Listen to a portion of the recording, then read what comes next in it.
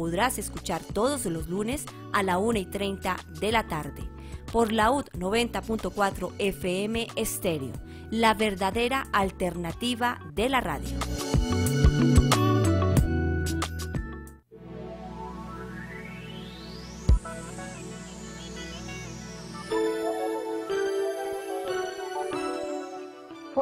Del bloque Alfonso Cano de la extinta guerrilla de las FARC, ingresó a esa guerrilla en el año 2000 a los 17 años. Hizo parte de la delegación de paz por parte de las FARC cuando se firmaron los acuerdos entre el gobierno y ese grupo guerrillero.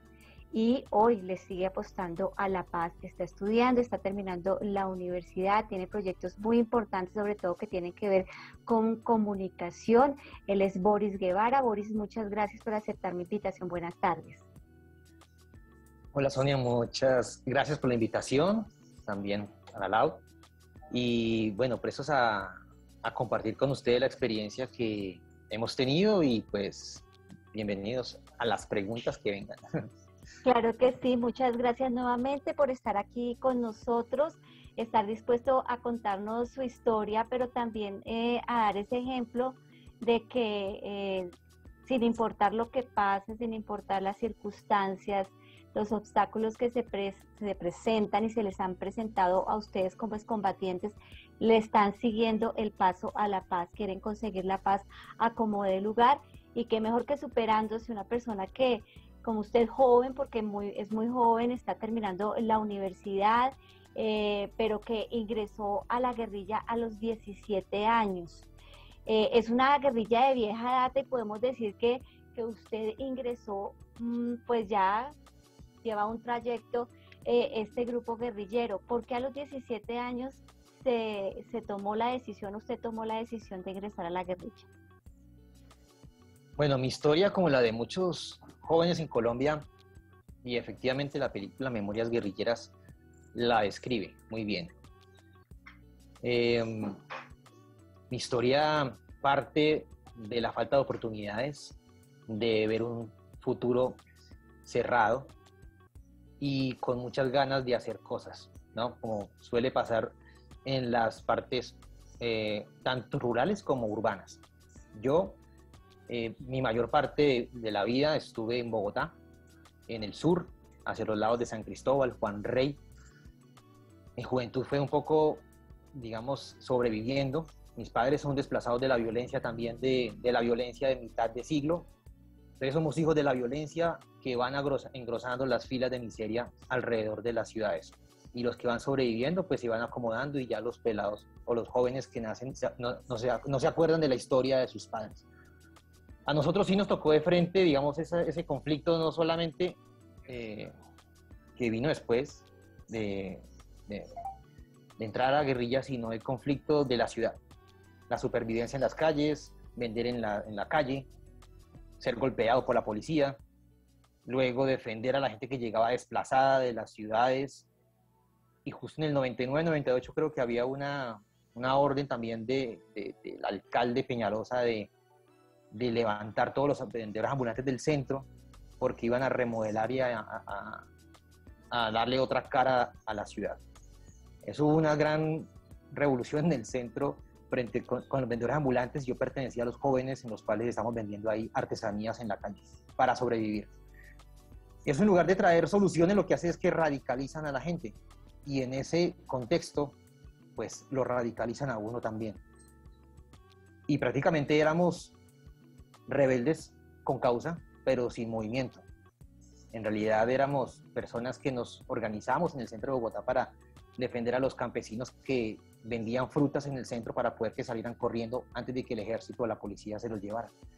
Y nosotros chocamos directamente contra el ejército, los jóvenes, y lo llevan a uno arrastrando para el CAI por, pues por atreverse a tanto con la autoridad. ¿no?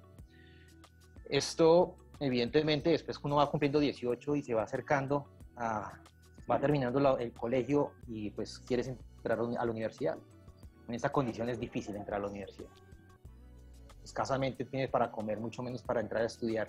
Y fuera de eso, competir con los mismos jóvenes que tienen todas las capacidades y tienen toda la tranquilidad para estudiar en un colegio privado para entrar a una pública. Entonces prácticamente ¿qué oportunidad tiene uno si la misma educación no da para, para entrar, por muy pública que sea? Bueno, pues esas circunstancias que yo creo que se, se, repiten año tras año todavía en este momento en Colombia, pues es lo que me llevó a mí a ingresar a las FARC.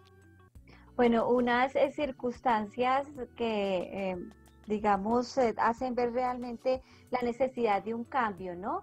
Desde la misma situación que usted estaba viviendo, usted lo decía, pues de una familia humilde, de una familia sencilla, eh, trabajadora, porque pues a eso se dedican a trabajar y usted pues de adolescente le tocó trabajar, me imagino, colaborándole a su familia. ¿Cómo fue, ¿Cómo fue su niñez, digamos, esa relación también con sus padres, su núcleo familiar, cómo estaba compuesto o cómo está compuesto? El grupo familiar es pequeño, eh, es mi padre, mi madre, somos cuatro hermanos, de esos cuatro hermanos terminamos todos en la guerrilla. El balance es un poco desolador porque el conflicto arrasó con la familia nuestra, no solamente de la parte del sentimiento de arrancar a los miembros de la familia que murieron en combate, otros heridos, otros en la cárcel, otros sobreviviendo.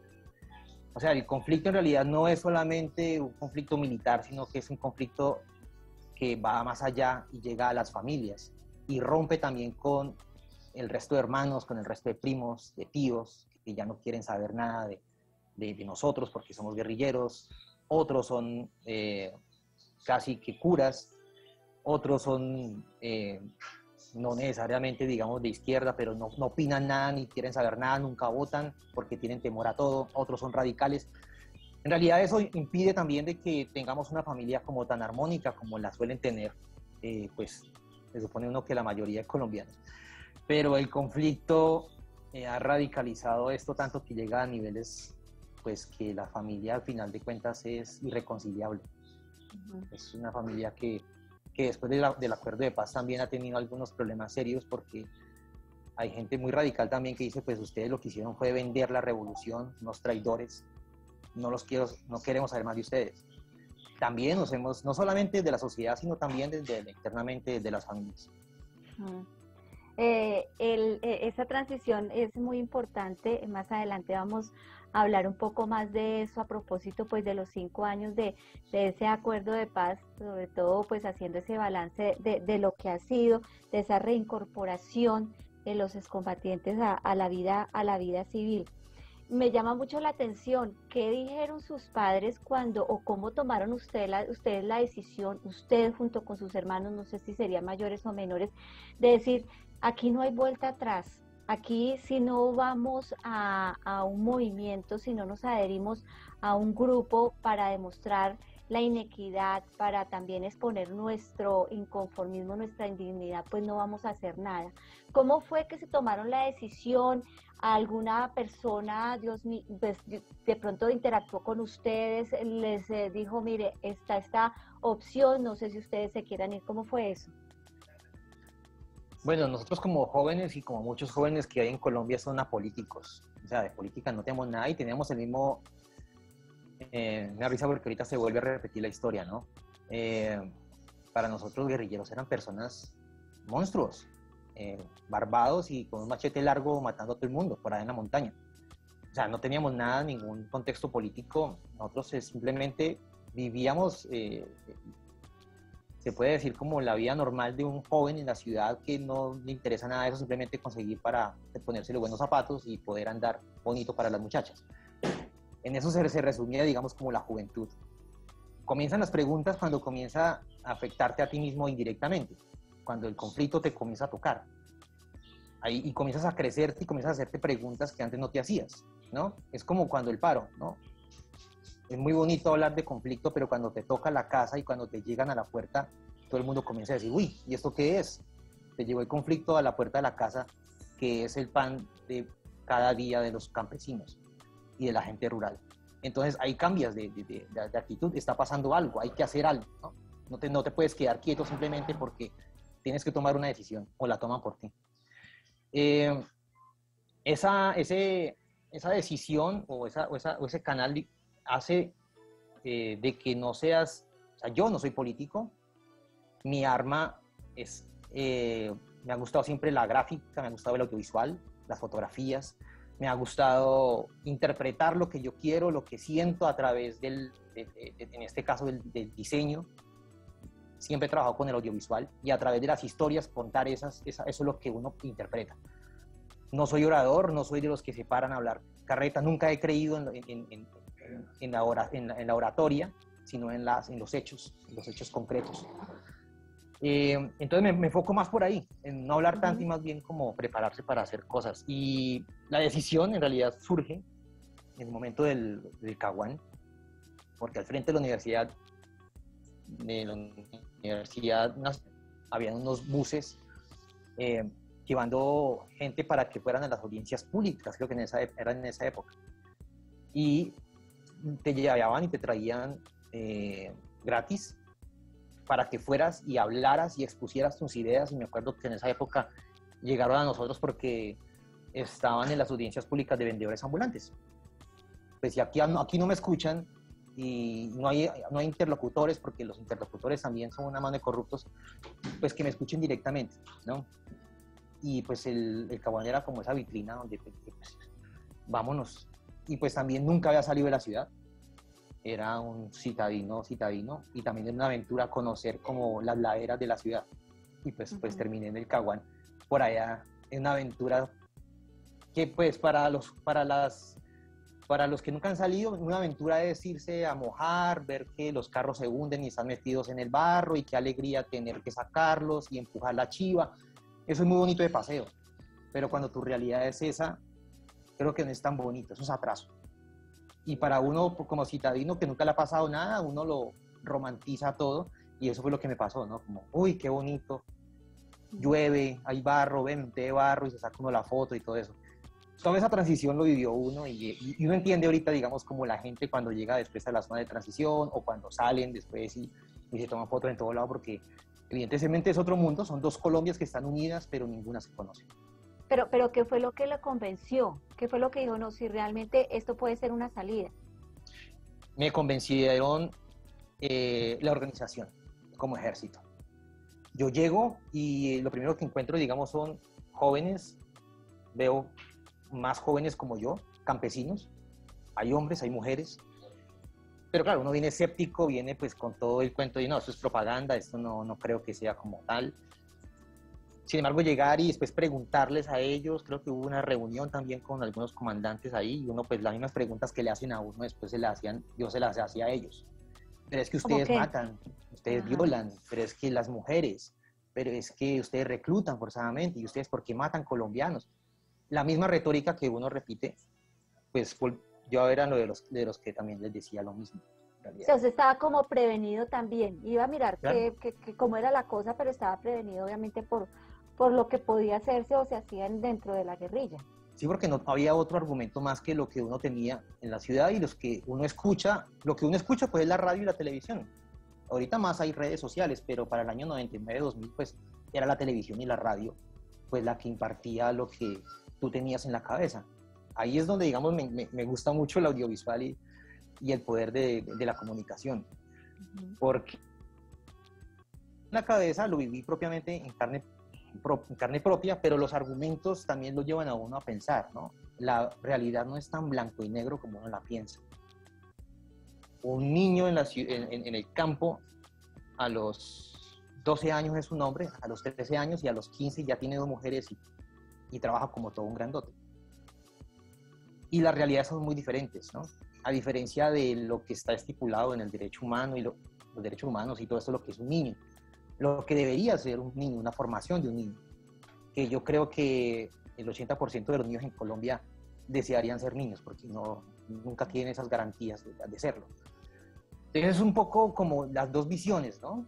La hipócrita, de alguna manera, que digo yo, de lo que debería de ser y lo que tendría que ser. Efectivamente, todos estamos de acuerdo que un ser humano tendría que formarse bien desde el inicio y tener todas sus garantías para poder ser coherente y aportarle a esta humanidad y otra cosa es la realidad que vive Colombia en este caso, y la de Latinoamérica y de muchos países atrasados que hay, que son dos realidades que no van de la mano muchas veces ni con las leyes que se, que, que, se imponen como, como derechos humanos, porque eso no aparece cuando un niño está muriendo de hambre y cuando decide también rebelarse o, muchas veces ingresar a las filas, ¿no? también e, eso, pasa, pero lógicamente dentro del trabajo, digamos, de, contextualización o de descontextualización, es muy difícil tú de tocar esos temas tan delicados en la gente como son los niños, la violencia contra las mujeres y todos estos temas que son pues punta de lanza para desacreditar todo un trabajo político, toda una idea política que se formó en su momento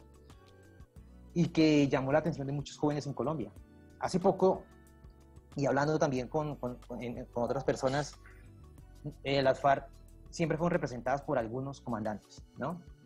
Las mismas caras de siempre durante 50 años. Su cuerpo, su, su ejército, el 90% son jóvenes. Pueden ser de los 15 años hasta los 35 años, 30 años, que ya comienzan a ser pues comandantes y eso se mantiene renovando. O sea, es un ejército donde el 90% de su estructura son jóvenes. Ya, digamos, son los comandantes que tienen como la línea y, bueno, y toda la estructura que ya eh, traería, digamos, en otra charla, explicar el funcionamiento de un ejército. Eso aquí, digamos, es, o sea, en realidad son jóvenes con los que se debería de estar hablando, porque detrás de esos discursos, en realidad, las decisiones que toman estos, estos dirigentes es lo que le cuesta la vida a muchos jóvenes en Colombia. A mí me llama mucho la atención lo que usted habla sobre el tema de desacreditación. Hay muchas personas, medios de comunicación, periodistas que, que hablan pues desde la comodidad, digamos, de un escritorio, pero no saben realmente qué hay detrás de.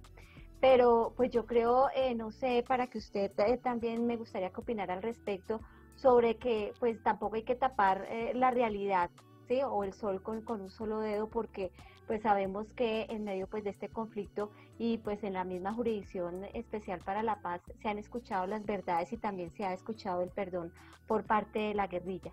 Usted siendo miembro en su momento de la guerrilla de las FARC, ahora hace parte mm, del, del, partido, digamos, usted todavía sigue como, como en la línea, siguiendo apoyándolo, pero usted siendo es guerrillero, o sea, ¿qué cosas usted rechazaría? Porque se habla también de menores de edad en la guerrilla, eh, se habla también de los secuestros, de violación a mujeres. Eh, hace poco hubo, pues, cuando se le hizo ese homenaje al mono Jojoy, que salieron varios miembros de la guerrilla diciendo, pues, si los secuestrados estaban bien, tenían su camita, su cambuchito, pero mm. realmente uno veía otras imágenes muy diferentes. Los medios de comunicación era lo que nos mostraban. Entonces, me gustaría saber su opinión, porque, pues, también, como todo, hay errores, hay defectos y por eso la paz y por eso los excombatientes que están ahorita están apostando como usted a la paz, están pidiendo ese perdón y están dando la cara. Sí, pues ahí hay varias cosas, hay varios temas ahí gruesos eh, que se tocan.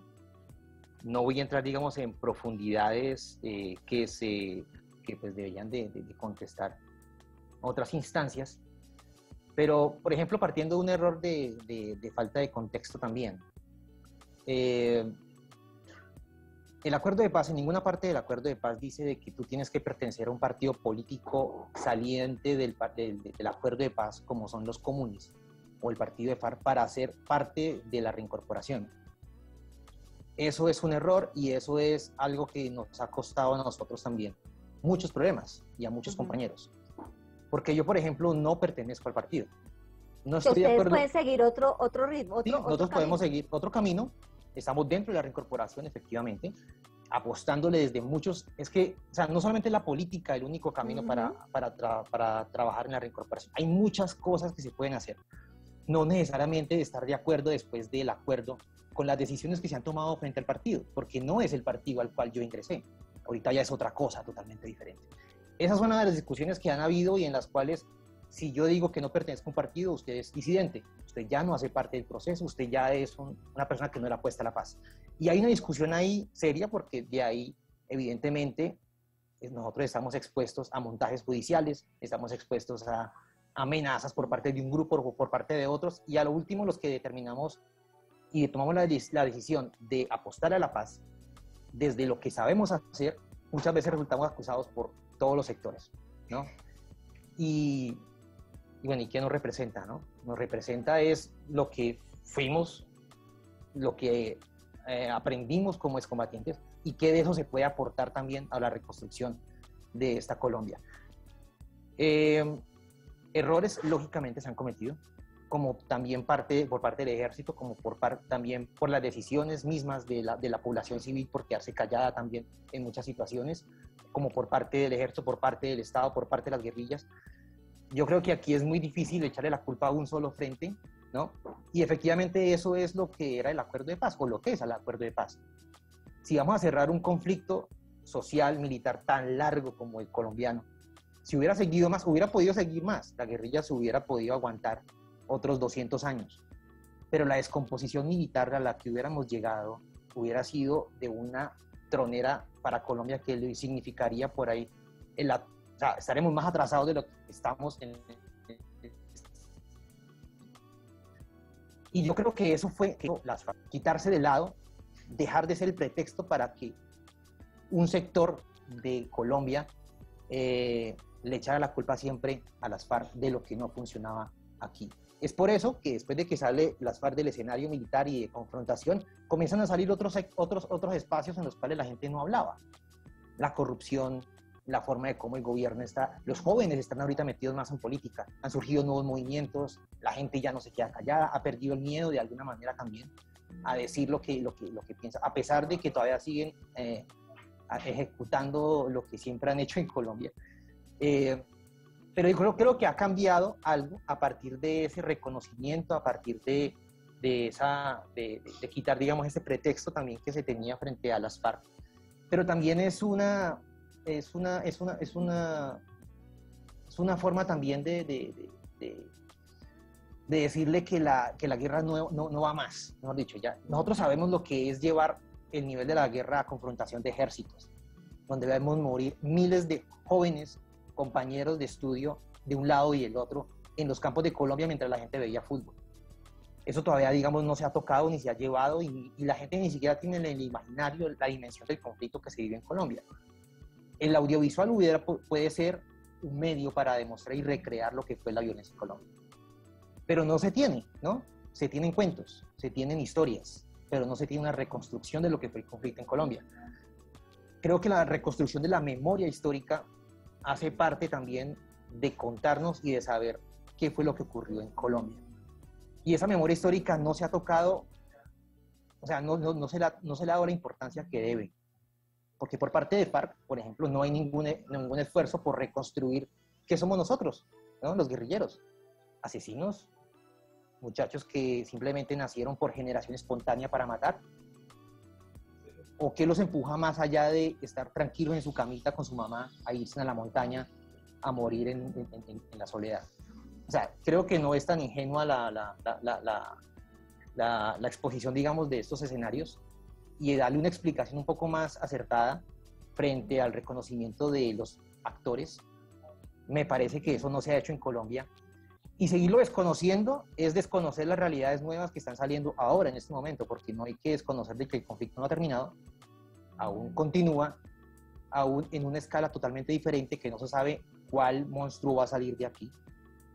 Pero si no reconocemos cuál va a ser, cuáles fueron las bases de ese, de ese monstruo, pues va, va, va, a continuar el conflicto por generación, ahí sí por generación espontánea, de generación en generación, si no, si no, digamos, no reconocemos. Creo que, eh, o sea, a, mí desde el audiovisual, desde lo que me, desde lo que me apasiona, eh, es contarnos, de poder expresar lo que, lo, que vivimos muchas veces y, de, acercar esa otra Colombia que es desconocida para los colombianos eso hace parte también de la reincorporación, hace parte también de, aportarle un granito de arena para que Colombia al menos se piense diferente a como siempre se ha pensado. Antes, antes de hablar como de ese trabajo que usted está haciendo, que, que yo creo que pues hizo como una crítica constructiva para, para la misma desguerrilla de las FARC de, no hacer ese, ese esfuerzo por reconstruir lo vivido, por mostrar realmente pues circunstancias que se viven, que se viven allá, de, del guerrillero raso, de, de, lo que se tuvo que, que, hacer, que sacrificar.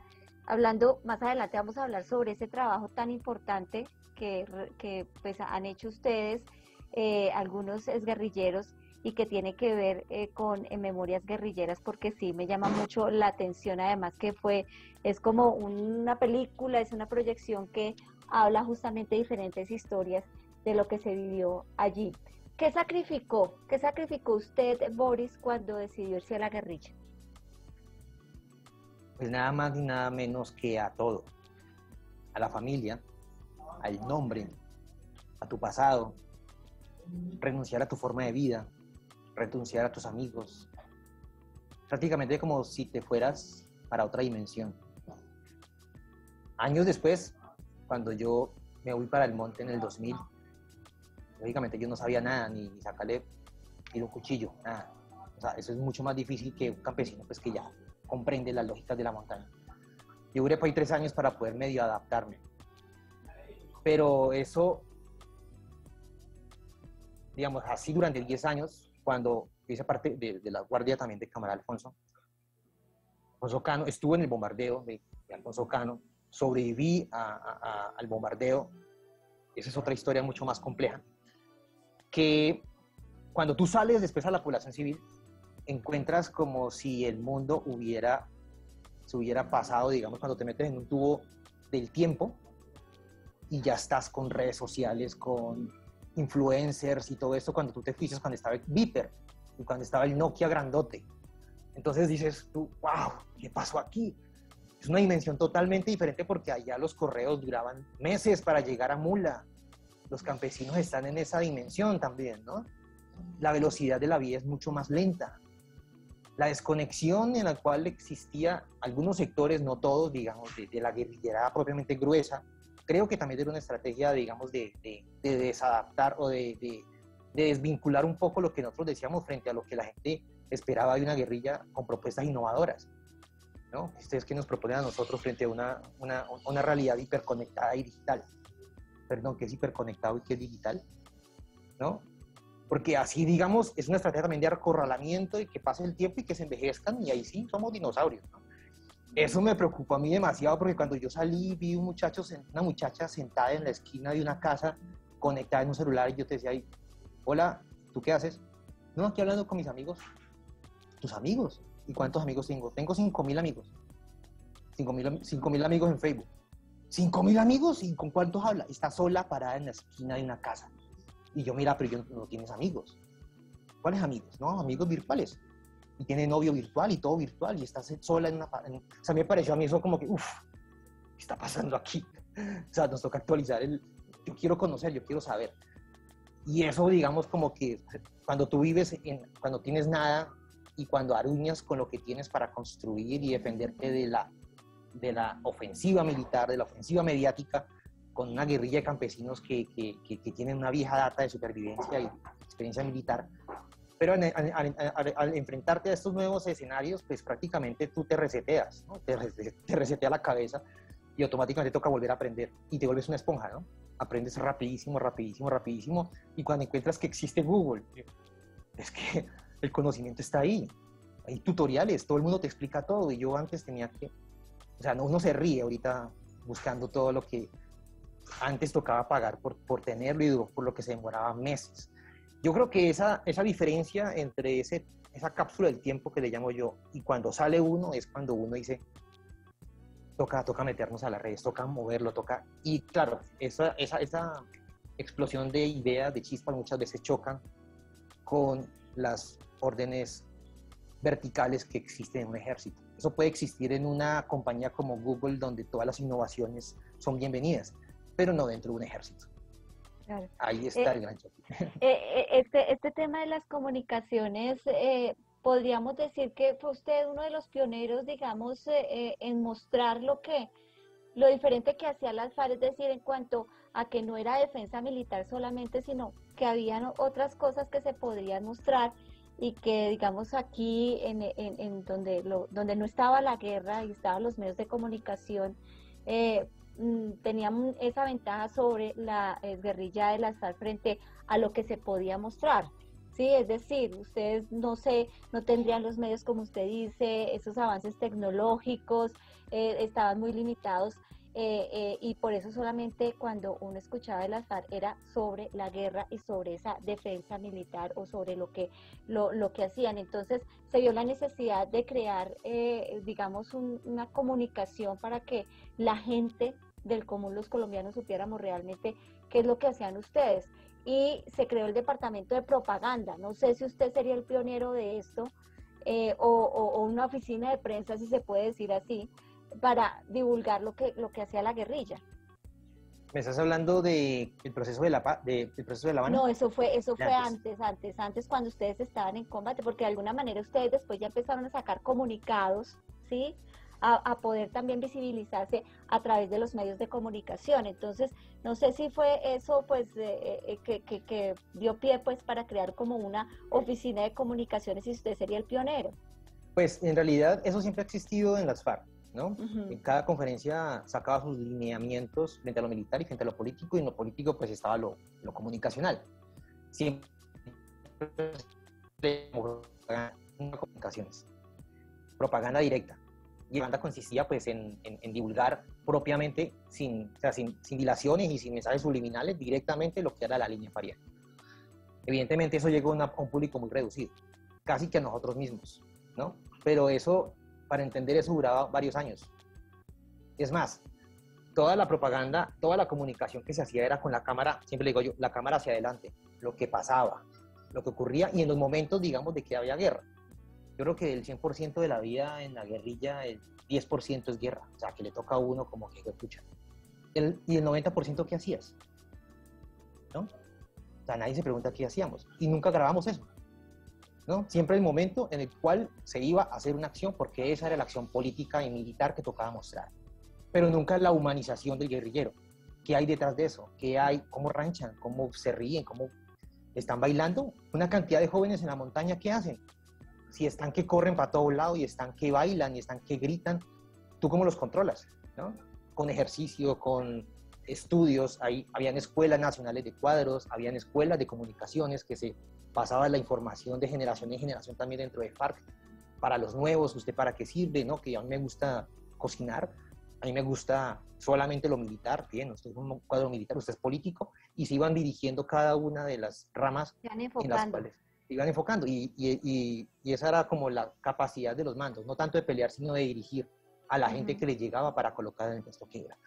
Entonces, ese mundo es desconocido no se conoce porque simplemente nosotros como FARC nunca nos esforzamos, no sé, no hubo, digamos, como esa, ese pensamiento que eso es importante para el pueblo colombiano comprender por qué ese accionar militar y por qué en lugar de muchas veces achicarse o desaparecer, crecían y eran miles de hombres y miles de hombres, ¿por qué canales llegaban? ¿Cómo los convencían? ¿Cómo entraban? Y, y sí, claro, evidentemente eh, eh, al pasar el tiempo eso se convierte en una cultura, porque ya tenemos música, ya tenemos poesía, ya tenemos una forma de hablar, ya teníamos una forma de vestir, una forma de andar. Yo, por ejemplo, cuando voy por la calle y veo a alguien, yo sé cuando es, es combatiente, pero por la forma de andar, por la forma de hablar, por la forma de moverse. Y uno sabe cuando es un militar, cuando es un soldado, y cuando sabe alguien que no sabe nada de lo militar. O sea, ya son, digamos, como gafas que uno tiene puestas en el transcurso, digamos, de la experiencia que la gente no ve alrededor de ello. Esas son cosas, digamos, interesantes para, para, para sentido. comentar. Es un sexto sentido, ¿no? Pararte en, una, en, un, en, un, en, un, en un valle y mirar todos los trillos que hay de la gente que pasó, pero tú como civil no ves nada. Yo no veo nada. Y ves, o sea, todas esas cosas son que duran años y años y años en formarse. Eso es muy, muy interesante, digamos, como para entender cómo funciona esta, esta cuestión de la, de la, de la guerra. Y, lastimosamente... Y Boris, perdóneme, eh, eso lo pudimos ver ya después del acuerdo de paz en las zonas veredales. Tuve la oportunidad de ir a Icononso y, y lo que usted habla cuando una persona, digamos, eh, tiende, tiene cierta aptitud o cualidad, cómo los van eh, organizando. Yo me acuerdo entre las zonas veredales, bueno, usted si le gusta, no sé, eh, el tema cultural, váyase por este lado. Están muy organizados en esa zona veredal que nosotros nos imaginamos cuando fuimos a cubrir allí en Econoso, que era lo mismo cuando estaban allá en el monte, ¿sí? Que a pesar de estar en esas circunstancias, pues también estaban como muy organizados, cada uno con sus funciones. Ustedes en qué curso quedó, miremos a ver cómo podemos ayudarlo para seguir que, que se siguiera educando no sé si eh, eh, en el monte podía hacer eso, pero ya en la zona veredal sí se pudo hacer eso, como explorarles y explotarles lo que sabían hacer para contribuir pues al grupo. Sí, evidentemente. Imagínate tú un, un, muchacho indígena, afro, por allá del Pacífico, donde no conoce ni las vacas. Y llega un ejército organizado donde pues es el único estado que, que. Es como cuando el muchacho llega aquí ve un soldado súper preparado, con lleno de cables y todo eso, y grandote. Yo quiero ser soldado porque pues, es como la impresión, ¿no? Eso mismo pasaba, digamos, en esas, en esas zonas apartadas. Todo el mundo quería ser alguien. Nadie quiere ser nadie. Los jóvenes quieren también aprender, quieren apoyarse en algo. Y claro, dentro de FAR existía una posibilidad de tú ser alguien. Por primera vez en la vida, cuando nadie te, nadie, o sea, pasaban por encima de ti en mismo estado, ahora tienes un fusil, tienes una formación y te siguen preparando para ello, porque yo mismo le di clases de aprender a leer, aprender a sumar, a restar, a multiplicar, a una no absolutamente nada, nada, nada de formación, de nada. Y no por eso, digamos, tú a decirle, ¿y cuál es el fundamento filosófico del partido de Lenin en los bolcheviques? Lo único que sé es que tengo hambre y no se estudia, o sea, no, yo quiero ser algo. ¿no? Eso ya es, digamos, para los políticos y todo el discurso, digamos, del aparato militar para justificar, digamos, también su, su lucha. Pero la base, la base es otra cosa. Ahí es, digamos, la diferencia también en la desconexión muchas veces que hay de los comandantes con lo que son las tropas, que a veces ni les interesa la política. No les interesa la política, en ese momento estamos sobreviviendo. Y sobrevivir en, en un escenario donde no se cambió nada, es que necesitas plata para poder darle de comer a su niño que están haciendo. Y esas discusiones políticas pasan a segundo plano, ¿no? Y claro, ya no eres político, entonces ya no eres de partido. Entonces ahí comienzan esas fricciones que nunca nos imaginábamos que íbamos a pasar como ejército, porque siempre nos imaginamos como ejército y nuestro objetivo era la toma del poder por, lo, por la vía que fuera. No se pudo y siempre, nos siempre se estuvo, digamos, preparado para, si no era por la militar, pues por la vía política. Pero la vía política nunca se preparó tanto como la militar. ¿no? Siempre fue un lineamiento militar, aunque siempre estaba fusionado con lo político. Pero bueno, eran, ahorita son otras realidades, creo que lo político es ahorita lo que, lo que manda, pero no, pero no solamente eso, sino lo económico. Y nosotros, imagínate, pues yo pasé pues, desde el 2011 hasta, hasta Nueva Orden, y los que manejaban la plata y los que le daban todo eran la organización. Tú no tienes un nivel, digamos, de control de plata. Tú, tú, no, tú no ves, digamos, un millón a 10 millones, ¿cuál es la diferencia? Te los puede tirar un momentico y ya Parece ilógico, pero es así, ¿no? Entonces, hasta eso son cositas que aquí en la reincorporación dura años para que la gente comprenda cómo es que funciona también, hasta controlar su propia economía. Bueno, y son, y son temas así, digamos, que, que, nos, nos, que son, serían interesantes, digamos, como tocarlos, como para mostrar también qué es lo que piensa, qué es lo que vive un muchacho, un excombatiente, que fueron miles y miles de donde están en este momento, muchos compañeros que, con los que se dejaron las armas, muchos se devolvieron porque aquí en realidad no vieron ninguna oportunidad. Para mí, la sociedad colombiana, nosotros estamos más preparados para llegar a una reincorporación que la sociedad colombiana. La sociedad colombiana no estaba preparada para una reincorporación. Y decir yo públicamente, eh, soy excombatiente, mucho gusto, eh, soy su vecino, eso ya es ponerte una lápida en la cabeza porque tú no sabes qué piensa tu vecino. ¿no? Eso ya es un temor andar en esa sociedad para decir quién eres. Y eso sí, yo creo que es un gran, una gran tristeza poder uno, andar oculto dentro de su propia familia, dentro de su propio país, porque uno entregó las armas, pero no, no digamos, términos también que se utilizan y que no son muy eh, entregar las armas es una cosa, hacer una negociación, otra cosa es desertarse. Y ser un desertor a ser un reincorporado. Son dos términos totalmente diferentes. Nosotros no hemos renunciado a nuestro, a nuestro planteamiento político y hubiéramos, muerto, hubiéramos, hubiéramos muerto por ello si no hubiera un acuerdo de paz. Así de sencillo. Seguirían, seguirían así. Seguiríamos así y, y, y, y, sí, pues Además que nosotros ya, digamos, somos conscientes de lo que, de lo que, se, de lo que se llegó, hubiera podido ser un daño grandísimo a la sociedad colombiana. Nos sacrificamos, que hijo puchas, con tal de que se cambie, digamos, esta, esta forma de, de, seguir. no, y es que, que la opción es mejor, es mejor hacer la paz que, que, hacer la guerra. Eso es indiscutible, eso es indiscutible. E, el tema de la estigmatización, lo que usted nos estaba hablando, eh, ha hecho que, muchos guerrilleros eh, o excombatientes, perdón, em, sean perseguidos, sean asesinados. Hay una cifra que es muy preocupante. Creo que em, hay una cifra de 250, 58 hasta el momento que han sido asesinados desde el acuerdo de paz. ¿Usted siente miedo en este momento? ¿Usted se ha sentido perseguido, discriminado por el hecho de ser excombatiente? Pues directamente no, pero sí se siente uno con miedo de, de, de ser perseguido, de ser entrampado Hace poco vimos aquí en Cali el caso de Harold Ordóñez, un amigo nuestro muy cercano, un muchacho comprometido con la paz y terminó siendo sindicado de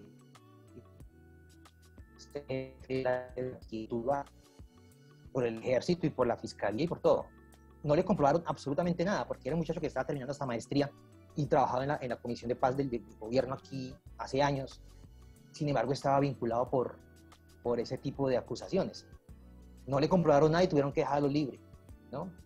Pero si no hubiera pasado eso, estaría en la cárcel injustamente, porque simplemente no son capaces de conseguir resultados militares como si se lo están exigiendo pues la gente que se siente afectada por los grupos armados. Entonces, digamos, eh, uno se siente eh, con miedo frente a todas esas actitudes porque es que en realidad el sistema no ha cambiado. Al Estado, al aparato militar que nos enfrentamos, no ha cambiado y sabemos nosotros de fondo, en el fondo de todo esto, la cantidad de cosas terribles que pasan, que han pasado y siguen pasando, porque no hay una estructura, un, rediseño tampoco del aparato militar. Y lo sabemos y sabemos a qué nos estamos enfrentando y lógicamente no tenemos un fusil para, desarmar, simplemente estamos aquí con, con las manos arriba y con una cámara en la mano y casi que haciendo nuestro propio meme cuando digan fue muerto por excombatiente. Número tal. Y, pero bueno, a eso le apostamos.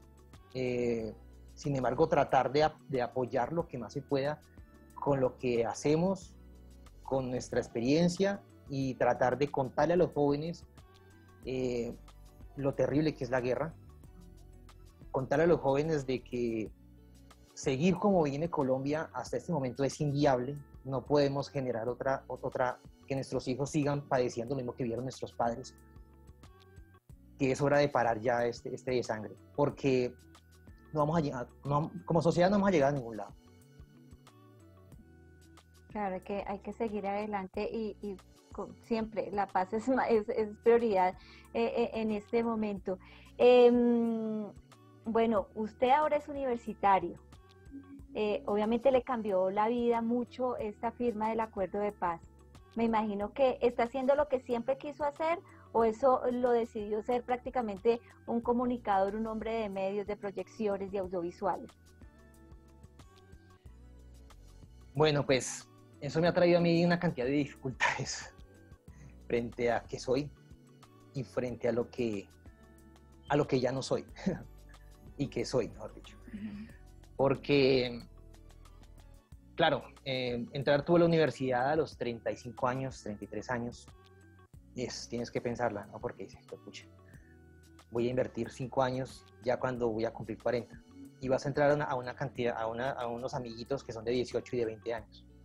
En una universidad como la Javeriana, donde pues no precisamente son eh, de escasos recursos ni gente, digamos, que como que compatibilizan con uno. Sabía uno del escenario que se enfrentaba, pero sin embargo me parecía muy curioso saber qué pensaban estos muchachos especialmente porque ellos van a ser el futuro de Colombia también. Posiblemente serán los ministros y seguramente son los que van a tomar las decisiones de un país que no conocen. Eh, y no sé, de pronto también conocer la experiencia de que con el tiempo se dieron cuenta que tenían un amigo que se parecía a ellos y que resultó ser excombatiente y que no tenía nada diferente a lo que hubiera podido ser su tío o su hermano.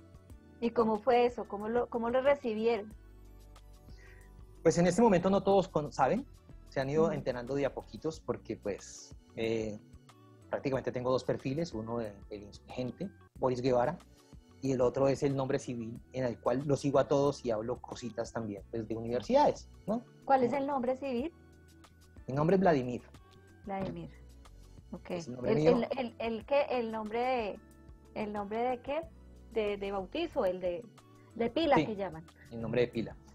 Pero pues es algo psicológico muy complejo porque tú prácticamente Vladimir ya murió, ¿no? Y tienes que reconstruirlo y, ese, y, esa, y esa es como la, la dicotomía que uno muchas veces tiene frente, yo soy Boris Guevara, ¿no? yo, toda la vida me han llamado Boris Guevara, Boris. Y, y, ese Boris Guevara no lo puedo enterrar porque no soy nadie como Vladimir, ¿no? O sea, mi, mi vida, mi construcción, mi pensamiento es, es Boris. Entonces, es difícil, digamos, adaptarte tú frente a dos, dos historias paralelas, que casi va a lo psicológico, porque tú, ¿a quién le dices qué historia? ¿No? Entonces tienes que inventarte dos historias para que sean coherentes, con, para que no pregunten más, porque quieren después más y más y más preguntar y, no llega un punto donde hay un vacío negro que no sé qué contar, ¿no? Pero como pues vacío negro, llegó un momento a esta sociedad y tiene experiencia de trabajo, mm, cuál es su familia, cuáles son sus referentes, quién puede decir, pues este ya tiene 38 años, ¿no? ¿Quién lo referencia? No sé, eh, el proceso de paz. Llegas ahí a un punto donde, entonces es difícil, aunque se ha manejado, se ha trabajado, pero cada vez más sale más a flote el Boris Guevara. El Boris Guevara que, es, que lleva uno dentro y si por esto le cuesta a uno la vida, pues que pues ya, pues no sé, eso es lo que toca también cambiar en este país, ¿no? Que al menos uno sea un ejemplo de lo que, de lo que no debería haber pasado. Claro, pero ¿qué, más, qué más, digamos, hoja de vida que un acuerdo de paz, ¿no? Eso, eso es algo único, histórico, una experiencia que, que, que, que, no, que todos los colombianos debemos sentirnos orgullosos por eso, a pesar de, de que ha sido tan duro esa implementación de, de la paz, este, este posconflicto que sabíamos que no, que no iba a ser nada fácil, eh, sobre todo para ustedes como, como excombatientes. Bueno, nos queda muy poco tiempo. Yo sí quisiera hablar del lanzamiento que sucedió el sábado 2 de octubre, de un trabajo que se realizó que tiene que ver justamente con estas vivencias de mm, los excombatientes. Eh, hablemos un poco de esta, de esta proyección que además ha, ha recibido premios, reconocimientos, uno por parte del Fondo para el Desarrollo Cinematográfico, fue ganadora de este premio eh, en el 2019 y otra por parte de la BAM, que es Bogotá Audiovisual Market en el 2018. Cuéntenos un poco acerca de eso, el trabajo que usted realiza ahí, esa experiencia que, tuvo y pues de las historias también de, de compañeros suyos. Bueno, la historia de la película Memorias Guerrilleras es un trabajo colectivo un trabajo de muchos combatientes, firmantes de paz, que participaron en la construcción y la creación de esto. Eso se dio en el marco de un, de, un curso de comunicaciones que estábamos dando, orientación del partido, de gente pues, que veníamos de comunicaciones de La Habana para distribuir pues, la experiencia en las zonas veredales y poder transformar eso en un equipo de comunicaciones sólido, casi que una cadena de comunicaciones por parte de combatientes que lograran de alguna manera también reflejar o llegar a esos sitios donde nosotros sabemos que existe el conflicto. Pensándonos, digamos, en esa, en esa perspectiva, eh, se estaban dando los cursos de comunicaciones. Sí, ya, pues, y como hablamos anteriormente, pues había gente que le gustaba las comunicaciones y le gustaba tomar fotos. Entonces estaban enfocados en eso, se recogieron a todos los muchachos de todos los frentes de esa parte que les gustaba y que querían hacer la carrera de comunicaciones se recogieron a toda esa parte, en, en, la zona veredal de la Elvira, y comenzaron el proceso de formación. Manejo de cámaras, preparación frente a la cámara, escritura de guiones, edición, escritura de diferentes formatos, ficción, artículos, toda la, la, cuestión. En esa, en esos momentos, pues, lógicamente comenzaba a llegar mucha gente y a conocer, pues, eh, conocer a guerrillera, prácticamente antes de que desapareciera. Estábamos todavía en armas y ahí fue donde conocimos a Ricardo Coral. Él estaba haciendo una investigación frente a otro tema, frente a otra política, frente a otra película, y conoce ese, ese trabajo que estábamos haciendo audiovisual ahí en terreno. ¿Qué le llamó la atención a él? Que estábamos haciendo guiones de ficción. Cada guerrillero escribía su historia. Luego lo escribía, lo traducía en ficción y luego se grababan ellos mismos para hacer, y luego se editaban y se demostraban y se ven ellos mismos cómo esa historia tomaba vida. Y claro, él, ve ese proceso y dice, aquí hay historias, aquí hay algo, aquí hay algo. Y claro, él tiene astucia pues de cineasta, toda la vida trabajado en eso y, y se le metió en la cabeza que, quería hacer una película con, con esas historias. Como muchas personas también pues prometen muchas cosas y se van, ¿no? Pues se fue y pues bueno, hasta ahí fue todo y seguimos nosotros con nuestro, nuestro proyecto. Resulta que no. Llegó dos meses después con ocho profesionales a grabar la película. Y vino ya, digamos, dispuesto a quedarse y a trabajar en lo audiovisual y, y pues nos montamos en el tren y grabar la película, pues con, subiendo lógicamente el nivel, ¿no? Ya con un director de fotografía, un director de sonido, un director de cámara, teatro, una directora de, de, dirección de, de, arte. Bueno, un profesional de cada unidad como director general, pero fuera de eso, haciendo la experiencia de que cada uno de los muchachos que querían ser directores también de su propia película, dirigieran cómo se escribía un guion, cómo se hacía para las escenas.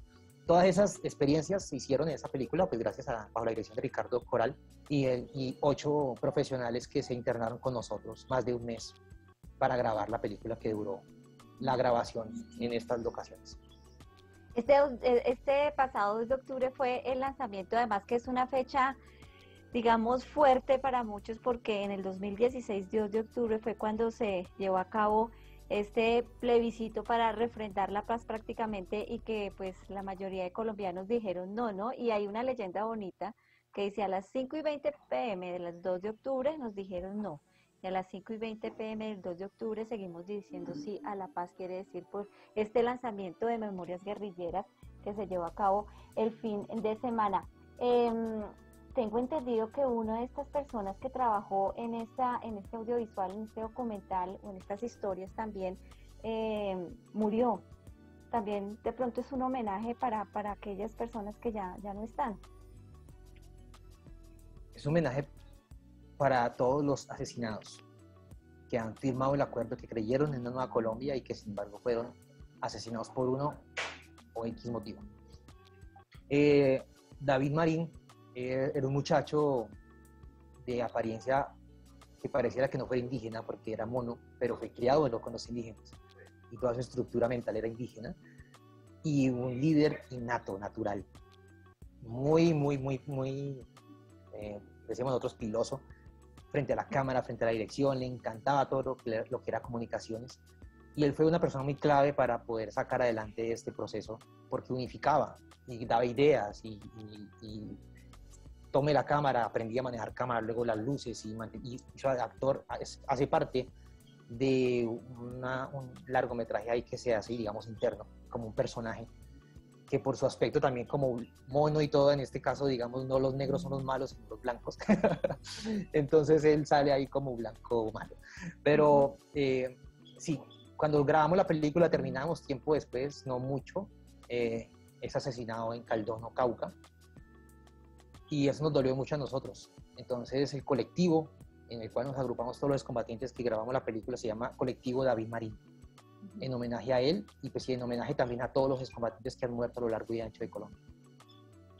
Bueno, ahí está este homenaje tan importante. Tiene una empresa, ¿no? Una, una mm, Totum se llama. Sí, es un, es un emprendimiento, digamos, eh, bueno, ya digamos hablando a nivel local, que a nivel personal.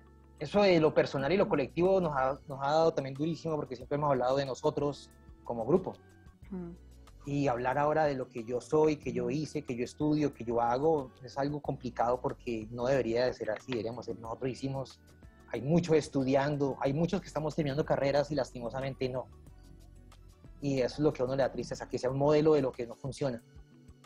Porque evidentemente hay muy pocos terminando carreras universitarias. Eh, sí, pues me, enfoqué en el desarrollo web, en el desarrollo de diseño eh, comunicacional, de desarrollo de plataformas. Me interesó mucho lo que fue la estrategia de comunicaciones, más allá de lo técnico, de prender una cámara y grabar, sino la estrategia más allá, digamos, del concepto propiamente dicho, aplicado. Eh, entonces me metí de fondo en esto y una de, digamos, de, las, de, las, de los pluses, más allá de la grabación, allá de, la creación, es la forma de distribución y la forma de reincorporación. La distribución es hecha por una plataforma que fue desarrollada por nosotros mismos, por excombatientes, y donde la gente por en Colombia por 10 mil pesos puede tener acceso a 48 horas para ver la película.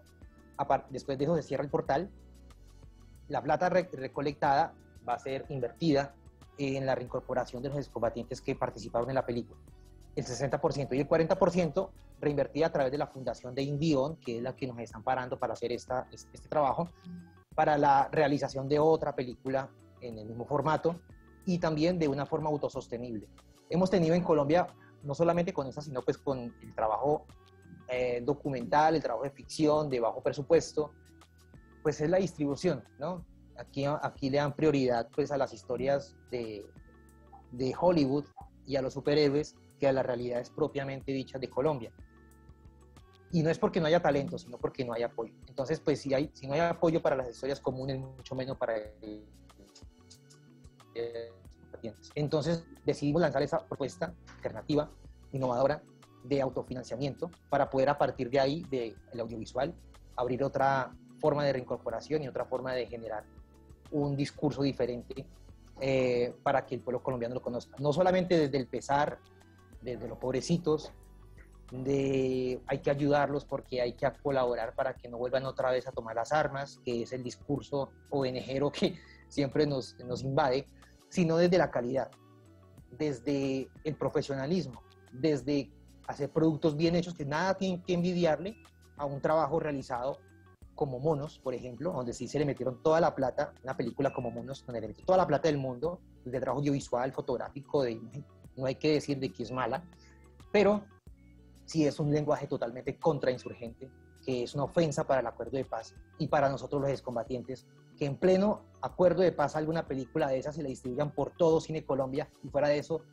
va uno a otros países y están puestas ahí como una representación del conflicto en Colombia me parece que es una cachetada a nosotros los combatientes por medio del cine colombiano y como una película de estas, aruñando y presentándolas en todos lados, no pasan eh, a la financiación de poder subirla, digamos, en calidad y en grabación. Eso es otro, otro punto de resistencia también que se abre y que los excombatientes nos ponemos, digamos, a disposición también a darla, como en otros escenarios difíciles que hay de reincorporación. Entonces yo creo que más allá de la película también se abre un espacio de debate frente a lo que es el audiovisual. Pero estos reconocimientos le ayudaron también como para, para presupuesto, ¿no? Para poder eh, hacer la película. Obviamente que eso, es muy, muy importante. Entonces, en, en esta, ¿en dónde podemos? El lanzamiento fue el 2 de octubre, pero ¿dónde la gente puede entonces mirar la película, mirar todas estas historias? Ok, la película se estrenó el 2 de octubre y se puede ver en su plataforma memoriasguerrilleras.indion.tv. Ahí eh, entran y directamente pueden acceder y alquilarla alquilarla no, donar eh, 10 mil pesos eh, y verla por 48 horas. Lógicamente, esa plataforma va a estar en diferentes idiomas, también va a poderse ver en el, resto del mundo y también, digamos, en dólares y en euros, eh, para poder que la gente, pues, no solamente limitarla a, a, los colombianos para ver nuestra, nuestra realidad, sino pues también para abrirla al mundo eh, sin embargo, la misma creación del afiche también creo que ahí, ahí, ahí digamos, como lo, lo, ofrecemos, es una edición, una edición limitada también de la creación propiamente de la ilustración de la película, que, que muestra todo el proceso también de, de, de, humanizar un poco la guerra y no mostrarla como de blancos y negros, enemigos, eh, amigos, enemigos, malos y buenos, sino ver esos, esos matices de la realidad que que solamente pasan en las películas y en, la realidad colombiana televisada. Bueno, pues Boris Guevara, le agradecemos por eh, haber estado con nosotros, por contarnos esa historia de vida. Usted dice pues que hay dos historias, son dos facetas, pero aquí en esta ahorita pudimos saber más o menos de el antes de, Boris y también el ahora de Boris, que mm, una persona que realmente a pesar de las circunstancias le sigue, le sigue apostando a la paz. Le agradecemos por haber estado con nosotros en Faceta. Muchas gracias a ti y a la audiencia. Espero, digamos, que mi testimonio sea de reflexión, de llevarse algunas preguntas también frente a lo que estamos haciendo y frente a lo que podemos hacer para cambiar esta hermosa y linda Colombia. Bueno, muchas gracias Boris. Con este buen invitado terminamos facetas y nos volvemos a escuchar el próximo lunes de una y media a dos y media de la tarde.